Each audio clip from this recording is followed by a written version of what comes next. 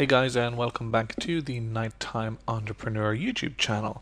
This is the channel that helps you to build your empire by night so that you can make money while you sleep. Don't forget to subscribe to the channel so that you can use these videos to escape the 9 to 5 life and start earning a full-time income online.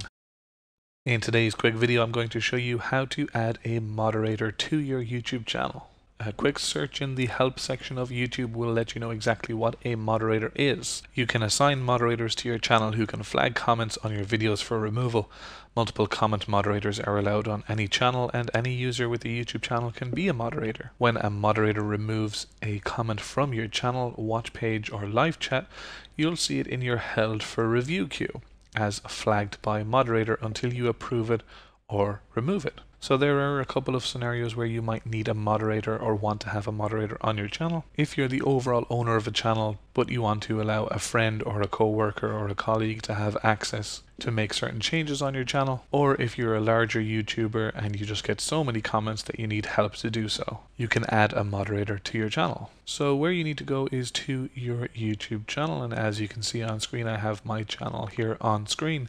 If you're logged into your YouTube account, and on your channel page you should have a button here that says Creator Studio. Give that a quick click and head on over to Studio. Once you're in the YouTube Studio, head on down to the bottom left of the page and click on Settings. Here you'll see a number of categories of different settings that you can control. The second last tab towards the bottom of the page is Community, so if you click on Community, you'll see here under Automated Filters, there is a box that says Moderator and there is a place where you can add a moderator. In order to add someone as a moderator, you need to paste their channel URL into this box. If I hover over the question mark, it's just a little bit more information about what a content moderator is. And it is explained that these users can remove comments which will appear in your held for review page and can also moderate your live chat messages. So if I want to add someone as a moderator, I just go to their YouTube channel, copy everything that's in the URL bar at the top of the page and paste it in here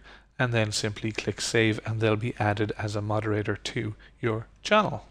Okay guys, thanks for watching this YouTube quick tip and thanks for your patience with my audio today. I'm actually on a portable headset.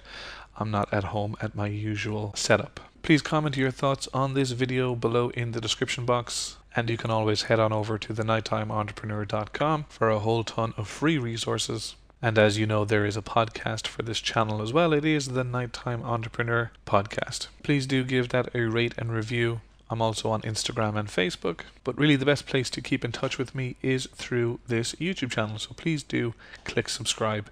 You should be seeing my face on screen right about now. So if you give that a quick click, it will subscribe you to this YouTube channel. There'll also be some other videos on screen as well. So please do stick around. Once again, thank you for your time for watching this video and please do subscribe to the channel.